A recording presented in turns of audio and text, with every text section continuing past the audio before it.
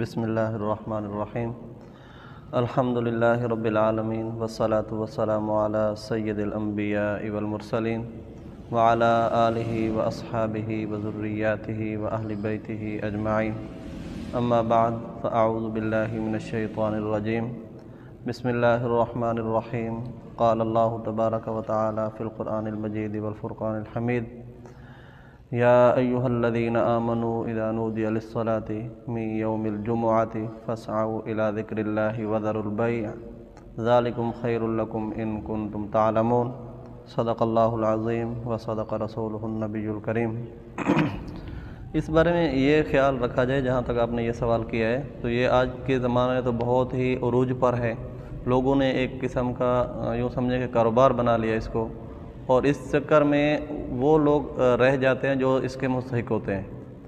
اس بارے میں علماء کرام نے جہاں تک یہ بھی فرمایا کہ اگر مسجد کے اندر کوئی اپنی ذات کے لیے سوال کرتا ہے تو یہ بالکل ناجائز اور حرام ہے۔ اور مسجد کے اندر علماء کرام نے یہ بھی فرمایا کہ اگر آپ مسجد کے اندر دیں گے کسی کو، گداگر کو، فقیر کو، اگر وہ اس چیز کا مستحق نہیں ہے تو آپ نے اگر ایک روپیہ دیا ہے تو آپ کو اس کے ازالے کے لیے ستر روپے آپ کو صدقہ ادا کرنا پڑے گا۔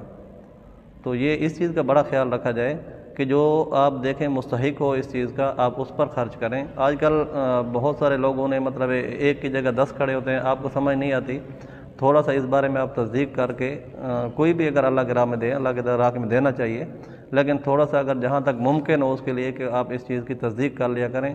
بہت سارے لوگ آج کل مطلب ہر مسجد کے گیٹ پہ، مسجدوں میں، گلیوں میں، جہاں کہیں آپ دیکھیں گے، گداگر آپ کو ملیں گے۔ جہاں تک اس کا تعلق ہے تو آپ سب سے پہلے تو کوشش یہ کریں کہ اپنے قرب و جوار میں دیکھیں، اپنے محلے میں دیکھیں، اپنے رشتہ داروں میں، عزیز و اقارب میں دیکھیں۔ اگر کوئی غریب ہے جو سفید پوش جن کو ہم کہا جاتا ہے، آپ پہلے تو ان میں ڈھونڈیں۔ اس کے بعد مطلب آپ دیکھیں، اگر آپ کو کوئی لگتا ہے زیادہ مستحق ہے تو آپ ان پر خرچ کر سکتے ہیں، لیکن یہ ہے کہ اس چیز میں بڑا خیال رکھا جائے کہ یہ جو مستحق نہیں ہوتے، پھر آپ آپ کو کوئی اس میں ثواب نہیں ملے گا۔ الٹا آپ مطلب یوں سمجھیں کہ اگر آپ نے ایک روپیہ خرچ کیا تو آپ اس کو ایک روپیہ وہ بھی گیا ستر یا ساٹھ روپے آپ اس کے ازالے کے لیے الگ مطلب صدقہ کریں ہاں یہ جو اداروں والے اور مدارس والے آ جاتے ہیں، آپ ان کے بارے میں تو مسجد میں بھی ان کی اجازت ہے، یہ اپنے ادارے، کیونکہ اپنی ذات کے لیے سوال نہیں کر رہے ہوتے۔ یہ ادارے کے لیے، مدرسے کے لیے، جہاں پہ بچے قرآن مجید کی تعلیم حاصل کرتے ہیں، ان کے لیے سوال کر رہے ہوتے ہیں۔ اس میں جہاں تک ممکن ہو آپ یہ اس کی تصدیق کر لیں کہ اس کے اسناد وغیرہ مدرسے کا نام کہاں سے رجسٹر ہے۔ اگر کوئی مسجد کا امام صاحب یا کوئی بندہ ان کی تصدیق کر دے تو پھر تو صحیح ہے۔ آج کل اس چیز کو بھی بہت سارے لوگ ایسے آ جاتے ہیں کہ فلاں جگہ مسجد بن رہی ہے، مسجد، اب ایک جگہ میں آپ کو بتاؤں، ہماری مسجد میں، الفلاح مسجد میں، ایک بندہ آیا، ایک دفعہ مجھے کہا کہ ہماری مسجد کی چھت ڈل رہی ہے اور بڑی مطلب پریشانی ہے، میں اندرون سندھ سے آیا ہوں۔ تو کچھ دنوں کے بعد اس وقت میں نے اعلان کر دیا ان کے لیے۔ کچھ دنوں کے بعد پھر وہ آیا اور اس نے وہی رونا دھویا۔ پھر میں نے اس کو بولا، یار، آپ نے تو پہلے بھی یہ چیز کہی تھی کہ میں مسجد کی تعمیر اور اس وقت مطلب سال گزر گیا، آپ پھر وہی بات کر رہے ہیں۔ جب اس کو یہ چیز ذہن میں آئی تو پھر وہ مطلب آئیں بائیں شائیں کر کے چلا گیا۔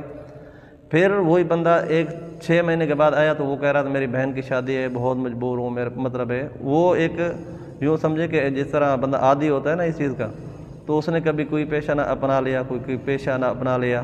تو اس چیز کا بڑا آپ خیال رکھا کریں، کیونکہ اس میں مستحق بہت آتے ہیں۔ اندرون سندھ سے بھی آتے ہیں مطلب کے پی کے پی سے آتے ہیں، بلوچستان سے بھی آتے ہیں، بہت سارے مدارس ہیں۔ وہاں پہ زہری باتیں اتنے چیزیں سہولت سہولت میسر نہیں ہوتی۔ تو یہاں وہ آسرا کر کے آتے ہیں، لیکن یہ ہے کہ کچھ لوگ ان میں بھی ان کو بدنام کرنے کے لیے ایسے آ جاتے ہیں۔ جو مطلب اس چیز کے مستحق نہیں ہوتے۔ تو آپ اگر کوئی بھی ان سے تعاون کرنا چاہے مدارس کے ساتھ تو کرنا چاہیے آج کے دور میں، کیونکہ حکومت وقت بھی اس طرح مطلب کوئی تعاون نہیں کر رہی۔ ہاں سب سے پہلے تو اپنے محلے میں، اپنے مسجد میں اگر کوئی ادارہ، کوئی مدرسہ وغیرہ ہے تو آپ اس میں بھی تعاون کریں۔ جیسے ہماری مسجد کا مدرسہ غوثیہ رضویہ ہے، سب سے پہلے تو اہل محلہ کا اس میں حق بنتا ہے۔ اس کے بعد اگر کوئی مطلب تعاون کرنا چاہتا ہے، کسی کو زکوٰۃ، صدقات، تو وہ تصدیق کر کے کر سکتے ہیں مدارس کے ساتھ۔